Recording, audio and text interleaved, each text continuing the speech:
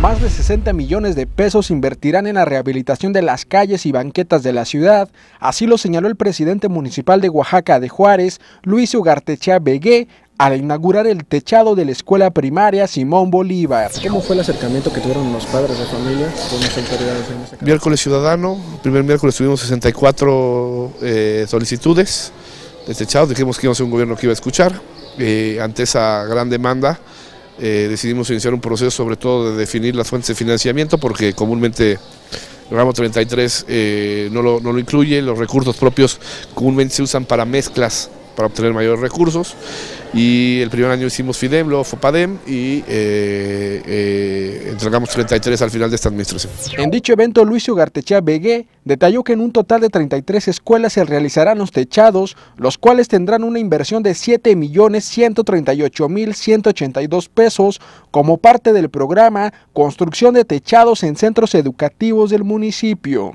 El presidente detalló que en la escuela Simón Bolívar se destinaron 362.399 pesos, de los cuales 29 mil pesos fueron el aporte de los padres y madres de familia y en donde se vieron beneficiados 360 alumnos. Habría que definir claramente qué es el Congreso, contextualizarlo correctamente.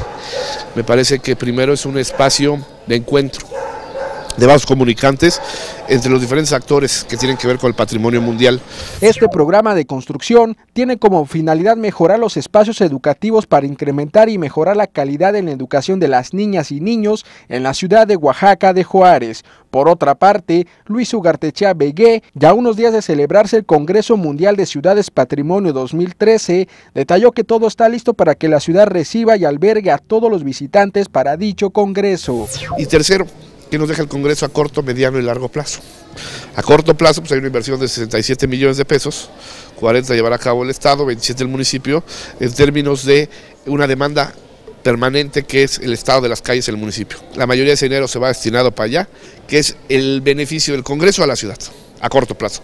A mediano y largo plazo hay que definir cómo le damos continuidad, cómo Vaca se vuelve punta de lanza en términos académicos técnicos en la conservación del patrimonio. Con imágenes de Oswaldo Mijangos informó para MBM Televisión Irán Sánchez.